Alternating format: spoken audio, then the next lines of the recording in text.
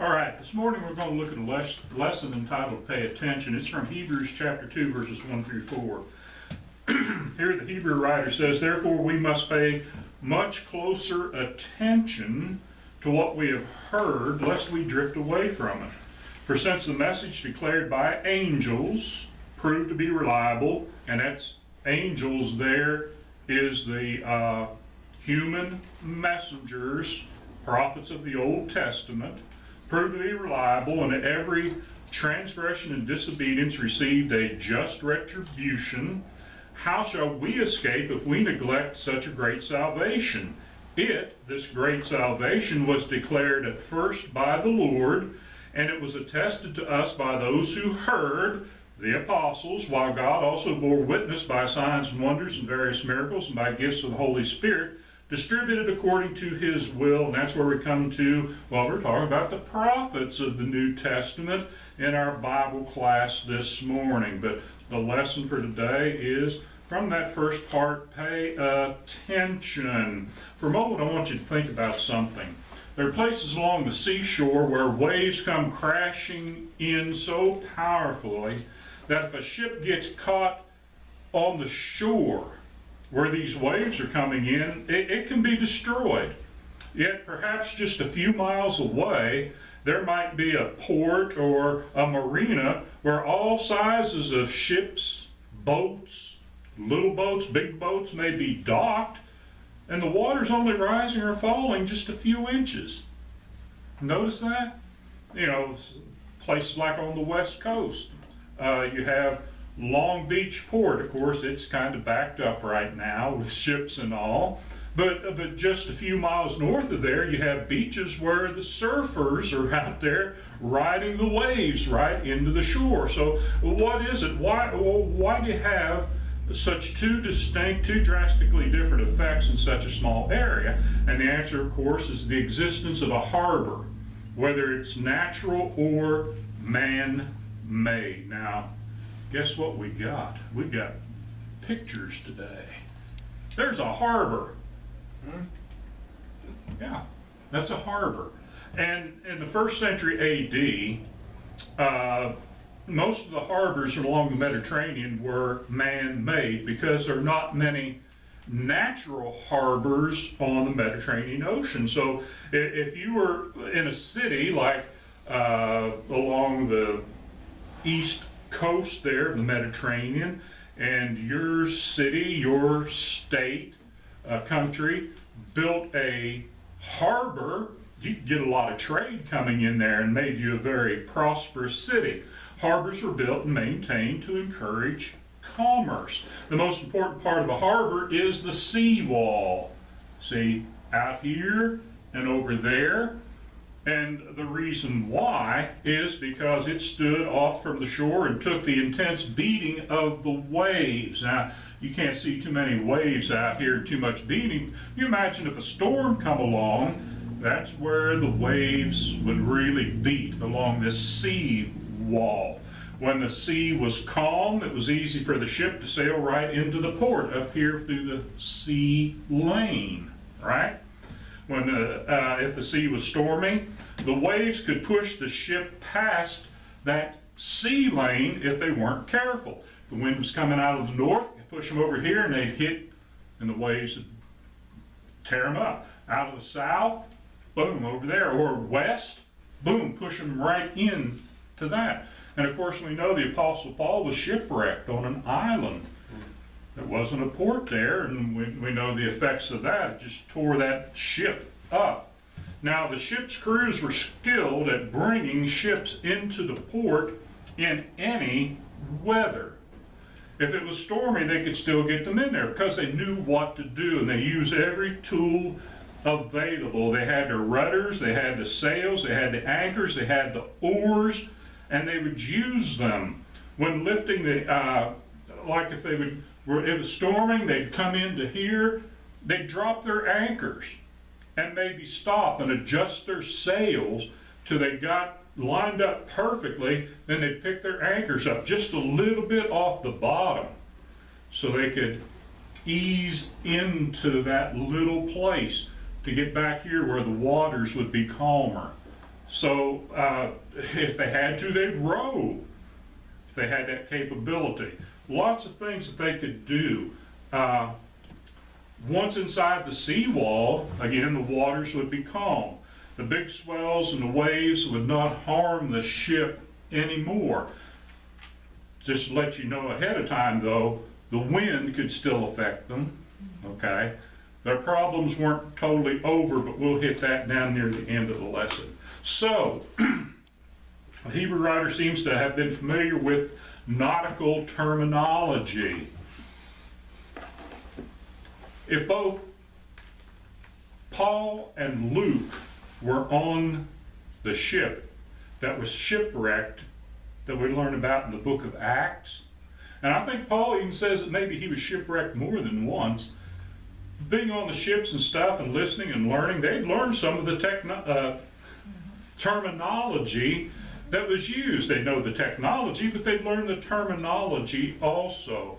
And the Hebrew writer seems to be familiar with that. Therefore, we must pay, we must pay much closer attention to what we have heard. Heard what? He's talking to Christians. He's talking about disciples of Jesus Christ. We have to pay attention most more closely to what we have heard, lest we drift away from it. Well, that's the gospel that the apostles were teaching. It came from Jesus. Uh, uh, the apostles were teaching it. Those prophets in the New Testament were teaching it. Oh, what's he saying here? Well, pay much closer attention is from a Greek word, prosekion, prosekane, I guess is proper, which means to bring a ship to land and simply to touch at or to put in. You know, here's the the pier or the wharf, whatever, and you want that ship to come in and just ride up beside it. All right? And then they throw the ropes and they tie it over and bring it real close.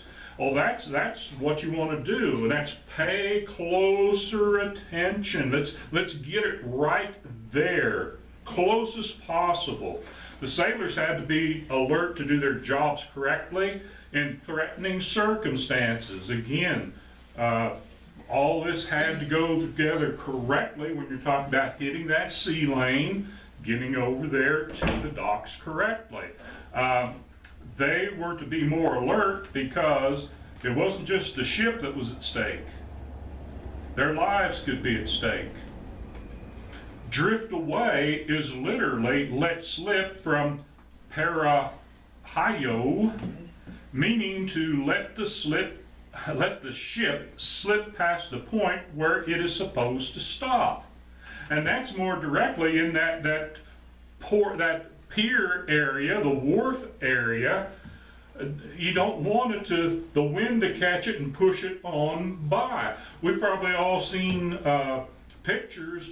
There, there have been a few times when some of these big ferry boats, like in New York City or I believe in Seattle, Washington, where these big boats carrying passengers and cars, you know, they do it how many times a day, you know, crossing the river, crossing a sound, and they come in and something goes wrong and they run right into the pier.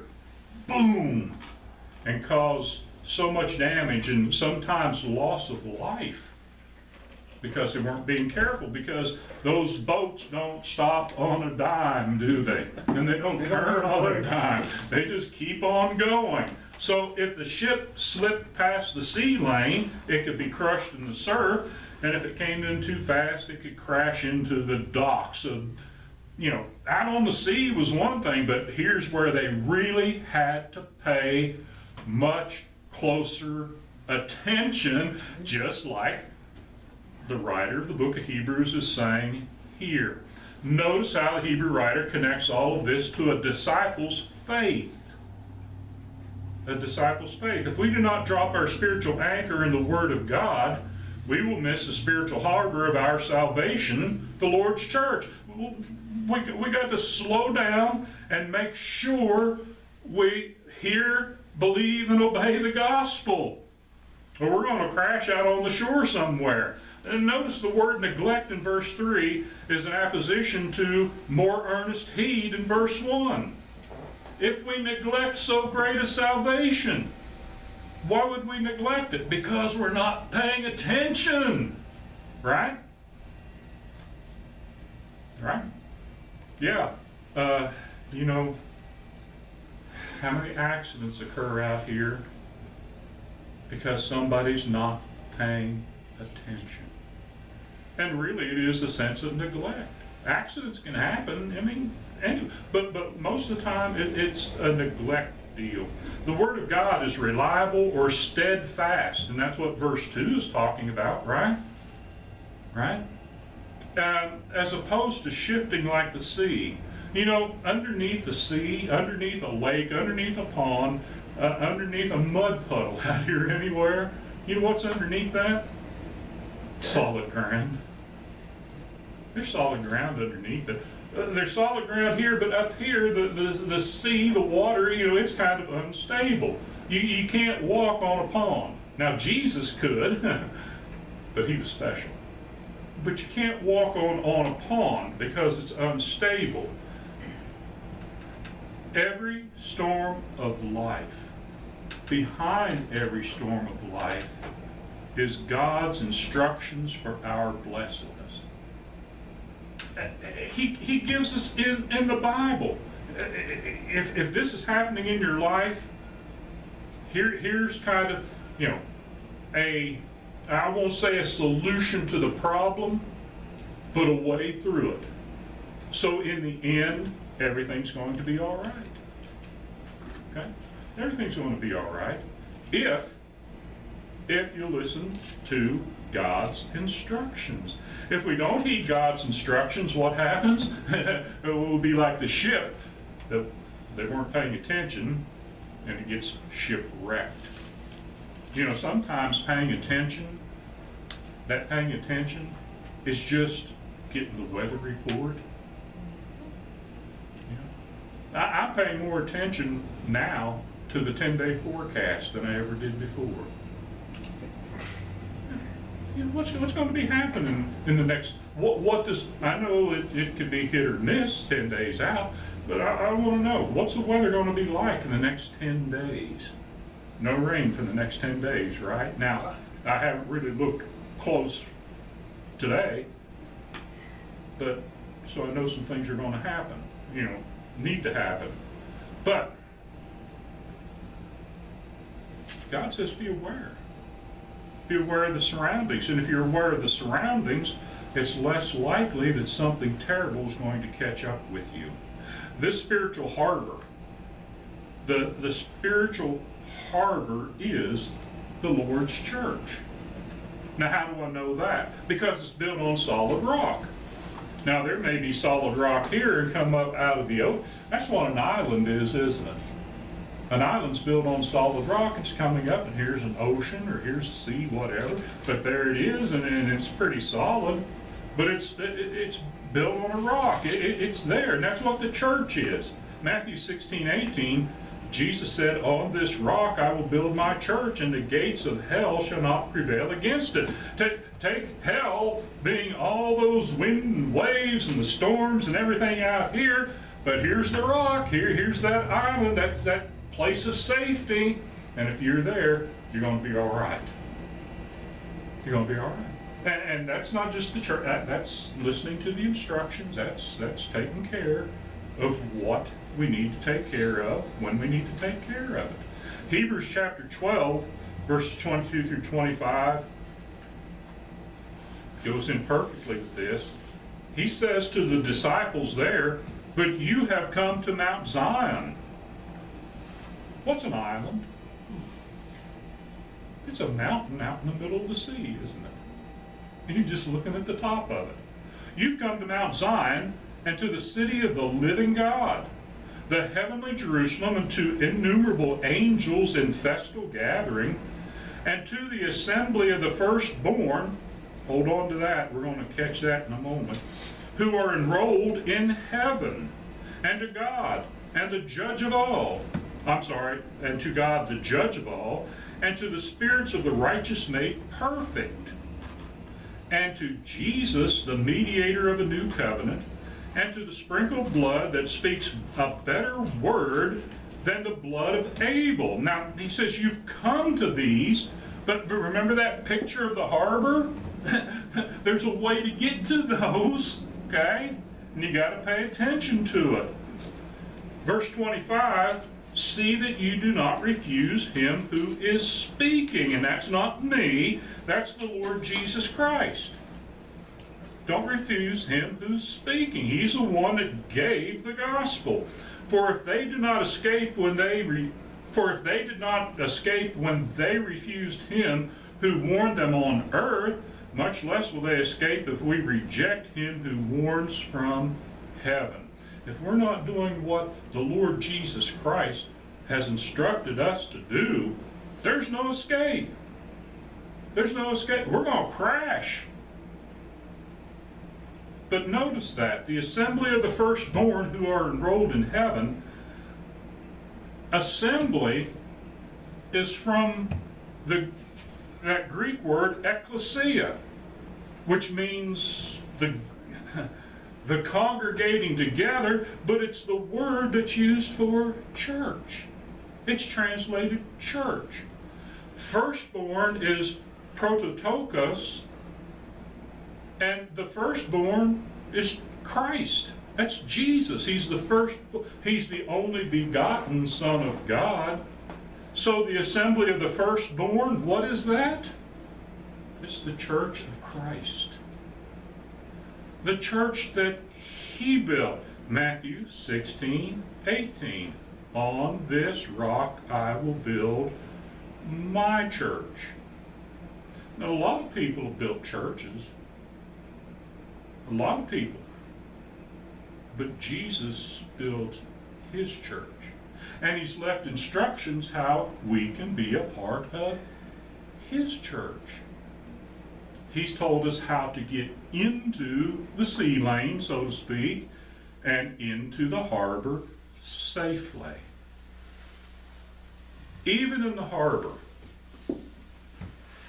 even in the harbor, the sailors had to give the more earnest heed to their actions. The Hebrew writer did not want disciples to become lazy or neglectful. The anchors remain down for added maneuverability in the congested area. You, you imagine you got this, this harbor and there might be a hundred ships and they're making their way in and out of port, right? So they're coming into port. Of course, they got rules, right? You know, when we're driving down the highway, you, you drive on the right side of the road. People coming the other way, drive on the right side. Pass, you know, everything. You work things out. But it's again, it's a congested area. There's winds. There might be currents within there. What, what do they call those? Uh, rip tides and stuff. You know, you just never know. You got to be careful. So they leave their anchors. They just pick them up a little bit off the floor. And they know the depth of the water, right? Mark Twain. You know, just they're being careful to get in there. And they take great care maneuvering through those congested areas.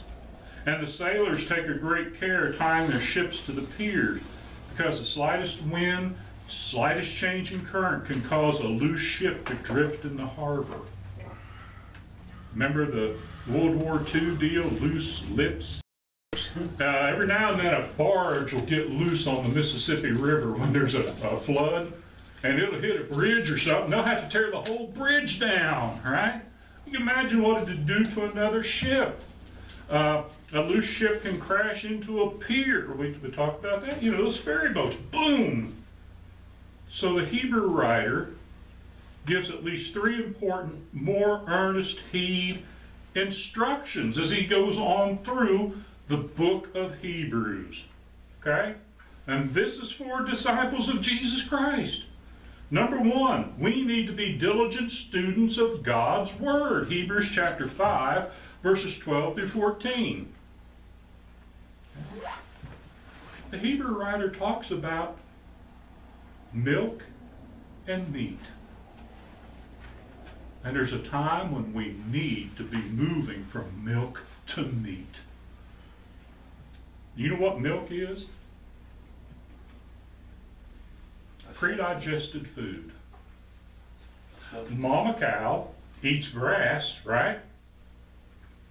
Converts that into milk and feeds the baby, the calf, right?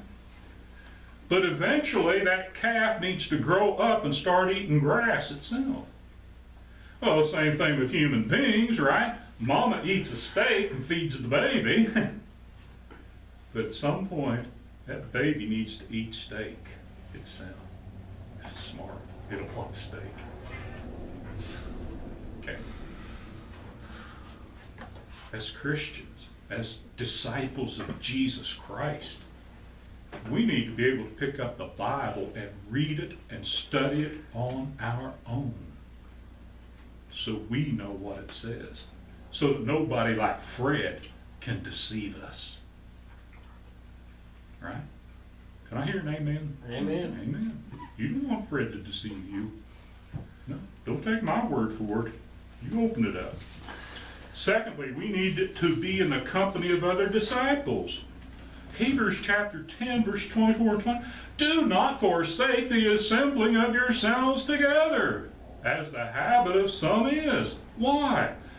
This is where we gain some strength and encourage one another. And the Lord wants us to be here. Three, we need to keep our eyes on Jesus, Hebrews chapter 12, verses 1 and 2. Well, he's the great harbor master, isn't he? He's the one that's laid out the rules for that harbor that says, now here's how all these ships can run around out here in this harbor and get to the piers and unload and load and do this and get in and out, all this safely. In harmony, like a song. I think I've got a, a, uh, a sermon coming up here not too long. Uh, you are a poem. You'll like it. But it's like an orchestra playing. When things are going good, when things are organized, when things are going properly, the way the great harbor master has designed it, what a wonderful thing. But you throw in somebody that wants to do it their way, somebody that doesn't want to pay attention, somebody that isn't paying attention, and you know what you got? You got chaos. You got chaos. And then you got catastrophe. Hmm. Conclusion. Always the best part of my sermons. Yes. The words of Hebrews chapter 2, verses 1 through 4 are as relevant for us today as they were for those who made shipwreck of their faith and were delivered over to Satan in the first century. What? You mean there were disciples? People who were saved? Who then were lost? Yes. 1 Timothy chapter 1, verse 18 through 20. This I charge, this, I'm sorry, this charge I entrust to you, Timothy, my child, in accordance with the prophecies previously made about you, that by them you may wage the good warfare, holding faith and a good conscience. By rejecting this, by rejecting what? Well, it's the faith, right? Uh, the faith that contained those prophecies, uh, the faith that, that gives a person a good conscience. By rejecting this, some have made shipwreck of their faith, among whom are Hymenaeus and Alexander, whom I've handed over to Satan that they may learn not to blaspheme. Oh, could, could the Apostle Paul do that? Apparently.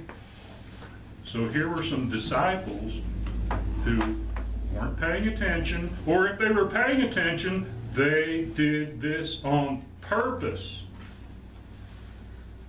They rejected the faith and they made shipwreck of their faith. How terrible. Is your faith slipping? That's a question for you to answer. Ha- Have you failed to give the more earnest heed? Just going along, you know, whatever happens, happens. Well, you need to find God's safe harbor this morning if that's the case. But, you know, it's there. It's there. God's patient. Uh, He's waiting. He's waiting. So that's the lesson for today. If you have a need, please come forward, take a seat here in the front as we stand and sing the invitation.